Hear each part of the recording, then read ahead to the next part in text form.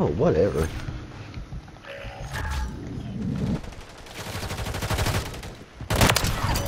Oh!